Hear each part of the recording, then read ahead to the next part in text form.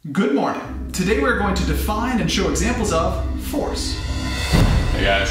Hey, Bo. Uh, hi, Bo. Flippin' physics. A force Is is a push or a pull? Actually, no, Billy. I don't like to define a force as a push or a pull because it's not really clear what a force is then. And please raise your hand if you have a question or a comment. I'm sorry, Mr. P. Billy, it's okay. A force is the ability to cause a change in state of motion of an object.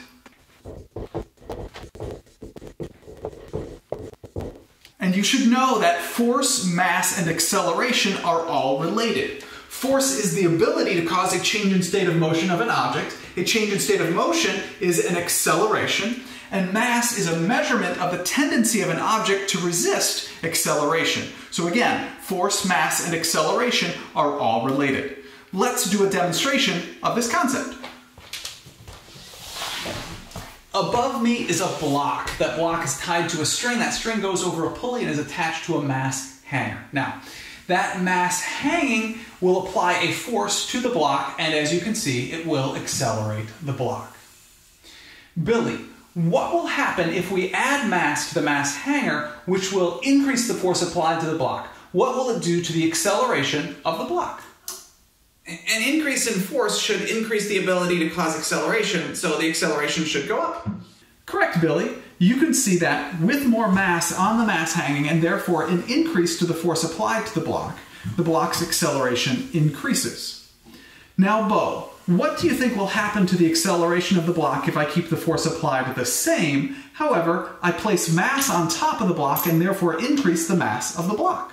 Increasing the mass of the block should increase the resistance to a change in state of motion of the block, uh, and therefore should decrease the acceleration of the block. You are correct. You can see that when the mass of the block is increased, the resistance to acceleration is increased, and therefore, with the same force applied, the acceleration of the block will decrease. Now, I want to take a moment to highlight a part of the definition of force we have yet to talk about. A force is the ability to cause a change in state of motion of an object. In other words, the presence of a force doesn't necessarily mean there will be a change in state of motion of the object.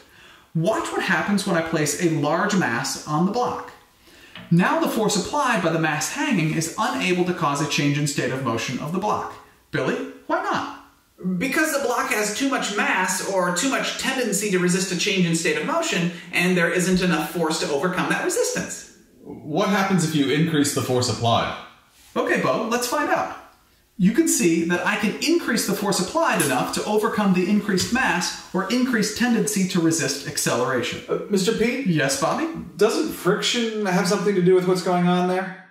Absolutely. Uh, however, we actually haven't defined friction yet, so but, but we will, just not today. So be patient.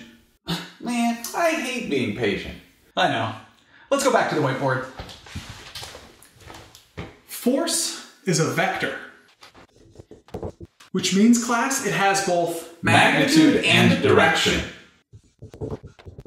Please remember that force is a vector and therefore has both magnitude and direction. Also know that a force is always the result of an interaction between two objects. For example, when I fall out of this tree, the force of gravity is the result of an interaction between my body and the earth. When this car slides to a stop, the friction force is the result of an interaction between the tires and the ground. And when this sled lands on the ground, the force applied is the result of the interaction between the sled and the ground. And finally, two different categories of forces.